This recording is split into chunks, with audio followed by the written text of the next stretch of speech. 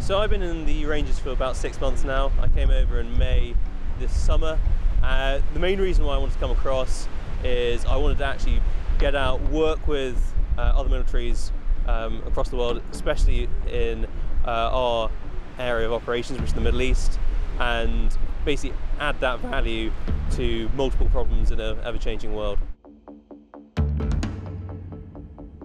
So the selection phase to get into the Rangers consists of two areas. So the first stage is a two-week assessment cadre, which ranges from assessments on a patrol stage to those in the classroom doing basic military knowledge uh, and navigation tests, up to uh, more current affairs essays and discussions.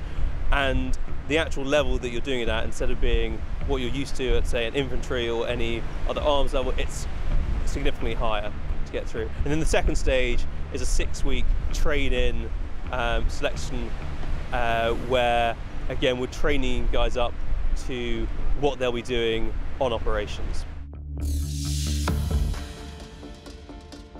This is certainly the most dynamic and most agile and fresh-faced area of the army at the moment, doing things that no other area are really doing, and it means if you're getting out overseas and adding value with our uh, either NATO partners or partner, partner forces within our area of operations, then that's amazing and something very worth being part of.